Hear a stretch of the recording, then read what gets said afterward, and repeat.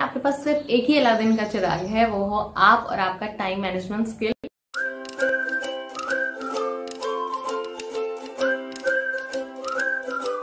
दो नाव में पैर रखेंगे तो डूबेंगे। आप में से कितने लोगों को लगता है कि जो स्टेटमेंट बोली गई है वो सही है और कितने को लगता है कि नहीं ये सही नहीं है? हमें ये चीज़ हमेशा से इसलिए लगती हुई आई है क्योंकि हम कुछ भी नया स्टार्ट करने में डरते हैं टू बी वेरी फ्रैंक इसीलिए ये स्टेटमेंट हमें सही लगती है। इसीलिए ना हम न्यू हॉबीज अडॉप्ट कर पाते हैं, ना हम नया कुछ सीख पाते हैं। हम हमेशा से सुनते आते हैं कि जो आप एक चीज़ कर रहे हो, उसी पे फोकस रहो, उसी पे फोकस रहो।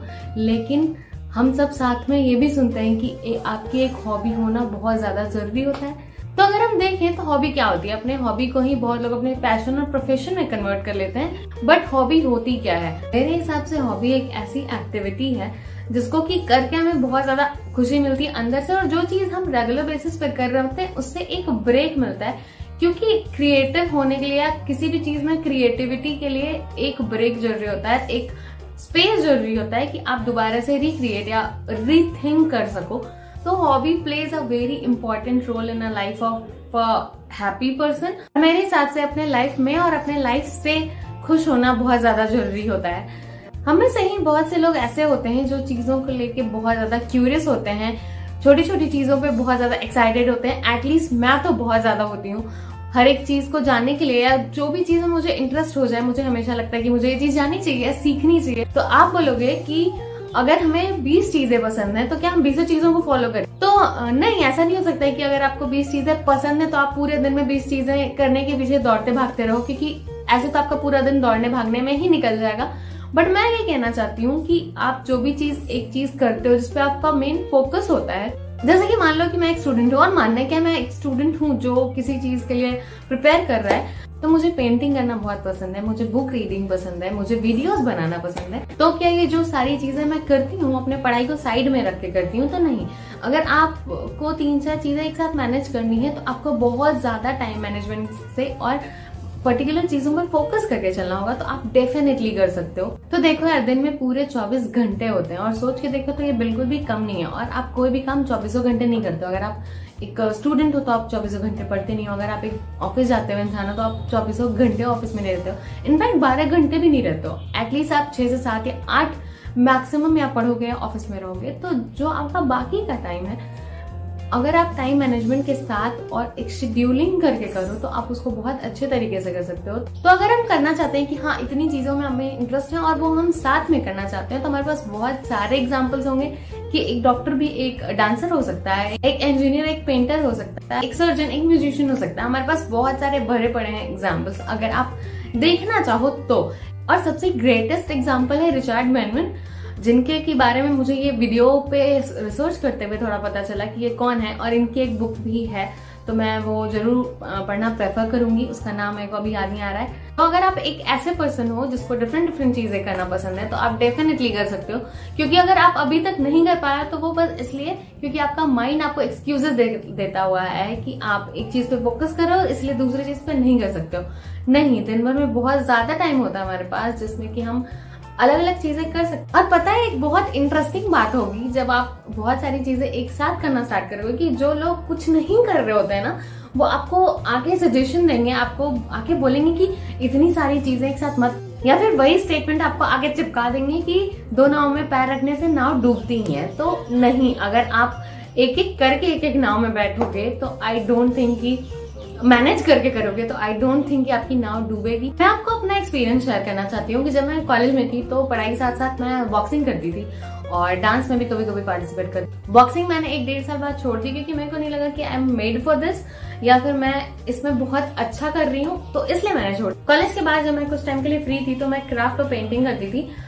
एक शॉप से मैंने टाइप किया हुआ था और उनके जो भी ऑर्डर्स होते थे, वो मैं फुलफिल करती थी बट उसमें भी कुछ खिटपिट हो गई, फिर मैं मैंने कंटिन्यू नहीं किया, फिर मैंने ऑफ़िस ज्वाइन किया। और ऑफ़िस कंटिन्यू करते करते एक डेढ़ साल बाद, पता नहीं मेरे साथ ऐसा क्यों होता है कि मैं एक चीज़ करते करते बोर फील करने लगती हूँ बहुत ज़्यादा। तो ऑफ़िस कंटिन्यू करते करते डेढ़ साल बाद मेरे को फिर से फील होना स्टार्ट हो गया कि मैं कुछ प्रोडक्टिव नहीं कर रही हूँ, या फिर मुझे जिन चीज़ों में इंटरेस्ट है वो मैं छोड़ रही हूँ। तो उस टाइम पे मुझे एक नया नया चस्का लगा था चॉकलेट्स बनाने का तो मैंने वो स्टार्ट किया मैंने। तो मैंने चॉकलेट मेकिंग थोड़ी बहुत सीखी और नो डाउट उस एक्सपीरियंस के बेसिस में मैं कह सकती हूँ कि मैं बेसिक चॉकलेट्स बना सकती हूँ। जो होममेड चॉकलेट्स के नाम पे आप खाते हो, उतना मैं बना सकती हूँ। जब मेरे जॉब के डेढ़ दो साल पूरे हो गए तो मुझे ऐसी फीलिंग आने लगी कि मैं अपनी क्रिएटिविटी अपने काम में नहीं दिखा पा रही हूँ। या मेरा सेल्फ इम्प्रूवमेंट बहुत ज़्यादा लॉन्गर टर्म में नहीं हो रहा है। तो वो मैंने क्विट कर दिया। इस पर्पज से मुझे अपना कुछ स्टार्ट करना है और साथ में मुझे नेट करना था नेट जेआरएफ तो जॉब छोड़ने के विद इन वन ईयर मैंने अपना नेट क्लियर कर लिया और नेट के बाद मुझे लगा कि नहीं नेट में भी मुझे नहीं रुकना है, मुझे अपना जेआरएफ क्लियर करना है तो मैं अभी उसके लिए पढ़ाई कर रही हूँ। और साथ ही में मैंने पेंटिंग करना स्टार्ट किया, जो की मेरी फॉर एवर हॉबी रही है। इलेवेंथ और ट्वेल्थ में मैं एक फाइनेंस की स्टूडेंट थी, मेरा ऑप्शनल फाइनेंस था।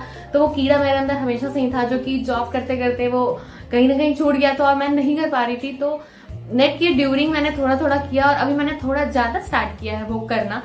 और 2020 में जब कोरोना की वजह से लॉकडाउन लगा और कुछ दिन घर पे रहने के बाद मुझे ऐसा फील होने लगा था कि मैं बहुत ज़्यादा फ्री हूँ तो मुझे लगा कि क्यों ना कुछ सेल्फ हेल्प वीडियोस बनाई जाए, क्योंकि मुझे ये करना बहुत ज़्यादा पसंद है, मुझे लोगों की हेल्प करना। तो उस टाइम मैंने सोचा कि क्यों ना एक यूट्यूब चैनल स्टार्ट किया जाए। तो over a period of time मैंने बहुत सारी चीज़ें एक्सप्लोर की है, मैंने बहुत सारी चीज़ें सीखी हैं और मुझे एक परसेंट भी रिग्रेट नहीं है कि वो सारी चीज़ें मैंने की। नो no डाउट मैंने अपने पैसे भी लगाए जो कहीं यूजफुल थे और कहीं वेस्ट हो गए, लेकिन जो भी एक्सपीरियंसेस मुझे इन पर्टिकुलर चीज़ों से हुए हैं, वो उन सब लोगों से ज़्यादा है जो मुझे आके कहते हैं कि तुम्हारा कुछ नहीं हो सकता या फिर इतनी सारी चीज़ें क्यों ट्राई करनी है? तो आज मैं प्राउडली कह सकती हूँ कि उन सब लोगों से मेरे पास उन सारी चीज़ों के एक्सपीरियंसेस ज़्यादा हैं। वो सारी चीज़ें मैं उन लोगों से बेटर तरीके से कर सकती हूँ।